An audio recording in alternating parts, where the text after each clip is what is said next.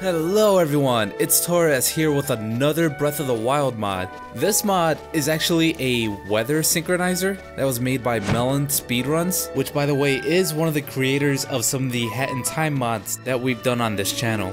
So the Breath of the Wild weather synchronizer will take whatever weather that's happening in your area right now and your time and apply it to The Legend of Zelda Breath of the Wild. So I'm actually going to use this weather modding tool to do some things that you normally can't do in the game. I'm going to make it snow in some places where it's not supposed to snow, as well as rain in some places where it does not rain. So the Breath of the Wild weather synchronizer looks like this. So what you want to do is insert the latitude and longitude of the area that you live in.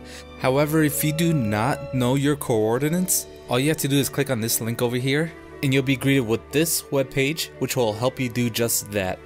Now this tool was actually designed for Breath of the Wild to simulate whatever is happening in your area as far as time and weather. But I'm actually going to be looking for an area where it's raining right now. I'm going to insert that and we're going to see how that affects certain places in the game. But for now, I'm just going to show you how this works. So for example, we can just type out New York. Uh, we'll just go to New York City, so we'll type out New York, New York and then you just click find. Then the next thing you want to do is copy the latitude over here and apply it. Then copy the longitude. Then we just paste it over here. Okay, so before I synchronize it, I'm gonna get Breath of the Wild on the screen here so you can you can see the effect in real time. And as you can see, pretty pretty clear skies, kind of cloudy-ish clear. So all you want to do is select Sync Cemu with time and weather. And there you have it. And you can see right over here it tells you uh, what kind of weather you're having, which right now it just says clear. So yeah, I guess this is what the game thinks is clear weather. It's kind of looks a little cloudy to me, but whatever. Uh, it's it's pretty clear, ish cloudy with a chance of clear. So what I'm gonna do now is um, this program actually takes the time from your computer. So I'm going to actually adjust the time. What I'm doing here is I'm, I'm going to turn set time automatically off and I will manually change the time over here. So let's go ahead and make it nighttime. And select change. There you go. As you saw there, we changed the time. We now have the power to time travel. I guess that means we're the hero of time. And likewise, if I wanted to make it morning, just go over to like 5... Let's go to 545. Let's see what that looks like. AM. Change, and yeah, sunrise. Yeah. Pretty cool, huh? Okay, so we're gonna go ahead and go over to Death Mountain and we're gonna make it rain. Have you ever seen it rain in Death Mountain? Of course you haven't, because it doesn't rain in Death Mountain. so if you said yes, you're probably lying or cheating, like we're about to do. Anyway, let's go to Death Mountain.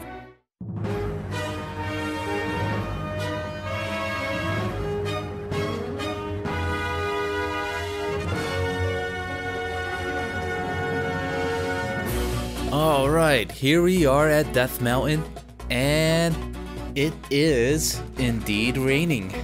So I actually synced up the weather syncer with Ireland weather because it's it's raining in Ireland right now. And so I'm able to make it rain here in Death Mountain where it never rains. So everything that's hot, everything that's on fire is just dying. The rain is killing everything that's on fire. The bats are dying, these Chuchus are dying. This guy's still alive, but He's gonna die in a second. Come on, get out of there. Yep, he's dead. Oh no, flaming bats. Whatever are we gonna do? Yep, water attacks are super effective on fire types. Remember that. Come on, little guy, we gotta get out of the rain. You can do it. Come on, come on, keep going, keep going. You got this. No, don't you give up now. Don't you give up. He's gone. He actually died. He's dead. He's absolutely dead. He's not coming back. He's dead. Alright, now we're about to get into the hot zone. You can actually hear Linkle steaming because she's hot. Because she just set fire and the rain instantly put it out. The game is trying to set me on fire, but it just can't. The hot spring still works. So another thing you'll notice is, uh...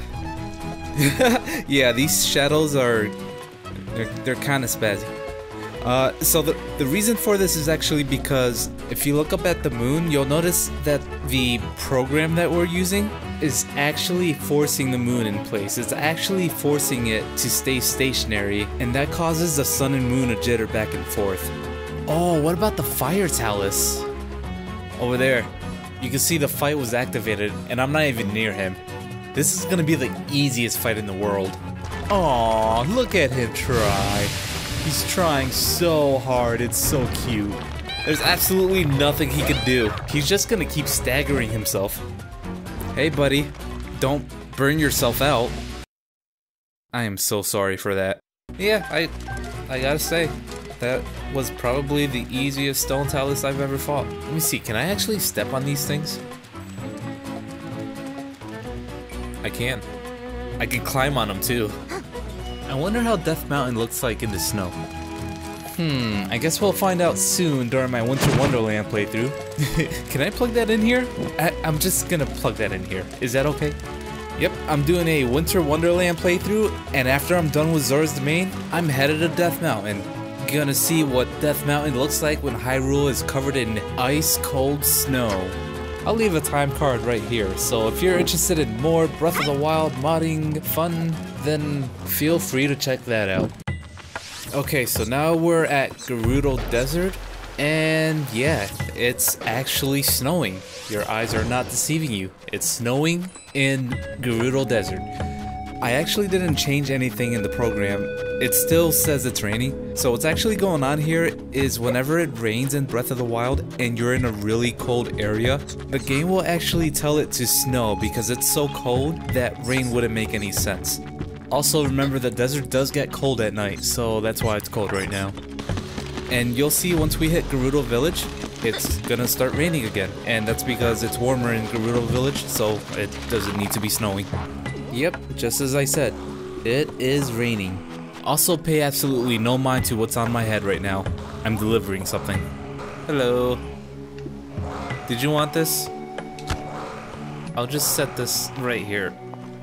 Alright, perfect. Now you have something to cuddle with that night. Oh, don't worry about it. You can thank me later. Um... Okay, I'm just gonna use this house. It's completely safe. Just don't try this at home.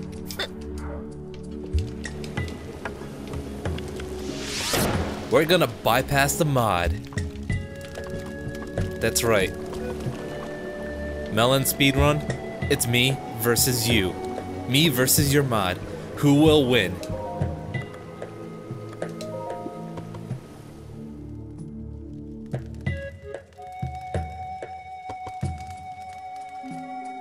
And it looks like I win. Nope. Well, dang. Okay, the next thing I'm gonna try is Hyrule Castle. So I made it to Hyrule Castle, and yeah, it's raining in Hyrule Castle, and it looks so ominous right now. The scenery here with the rain, the castle in the rain. All we need is some lightning, and this would be perfect. It would be really cool if this is how it was on the Switch, but I don't, I don't think the Switch can really handle this. So, eh, whatever. How about we check out Ganon's second form? Let's do that. Ganon boss battle with rain. I honestly really love how this looks. I love the contrast with the night sky and the pinkish evil aura hue thing coming out of Ganon. I think it looks awesome, and the rain completes it. So here's a part of the battle where it's still raining, but what the game was originally programmed to do is happening as well. So yeah, cool red skies and rain while fighting Ganon. Awesome. Okay, it's time to finish Ganon.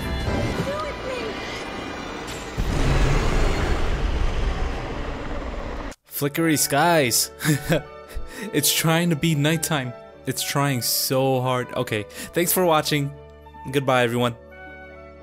Hey everyone, thank you so much for watching this video.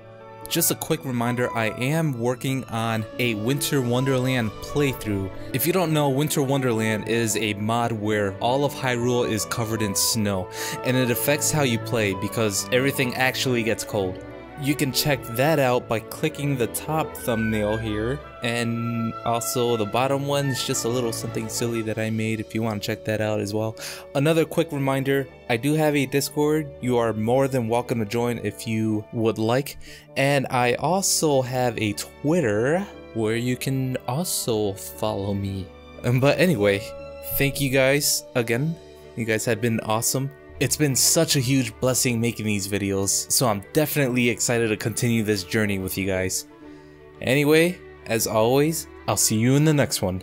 Have a blessed day.